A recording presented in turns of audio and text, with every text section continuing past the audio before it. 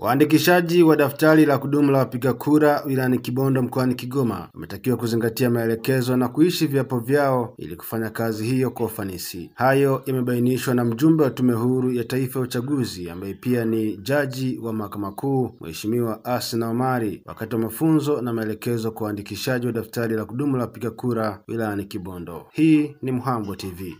Sasa kwanza mmeapa jana, naamini vile viapo sio sio kitu tu kwamba ah, waliandika basi form namba sita, form namba saba, mkaviishi mkaviishi viapo vyenu mlivyoapa.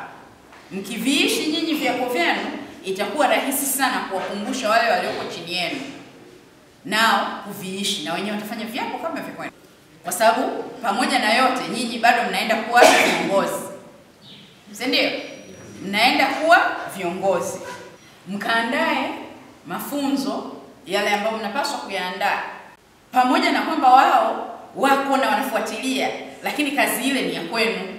Kwa msije mka relax mkisema ah, watakuja watu wa mkoani. Sio tamaa wale wananchi ambao tunategemea waje kuboresha taarifa zao, wengi watakata tamaa, wataondoka, kwa sababu namna unavyompokea ndivyo anavyokuona wewe jinsi ilivyo. Sasa kama wewe mtu anakuja kuboresha taarifa zake, aidha anafokewa, haelekezwi vizuri, mwingine ataamua kukata tamaa, ataondoka.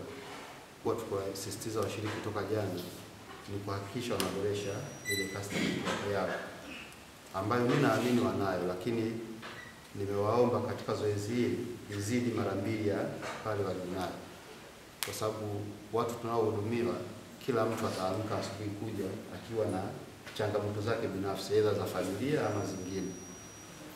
Sasa wapi anatakiwa kupata faraja na kupata maelekezo ni sisi kwetu kama wataalamu ambao umetupa heshima kubwa ya kwenda kuwahudumia, na bahati nzuri washiriki wamepokea kwa uzito wake jambo hili na wameahidi hiyo customer pia wataenda kuitoa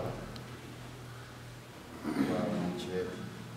Tunaendelea na zoezi letu kuelekea zoezi hili muhimu kwa taifa.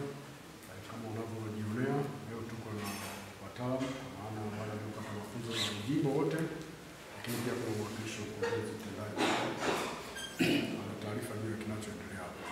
Eh, Mwenyekiti wa mafunzo haya tuko hapa kuanzia jana kuzingatia ratiba iliyotolewa na tume. Tulikuwa tumeanza na zoezi hili jana kwa maana ya mafunzo ya uwatishaji ngazi ya kata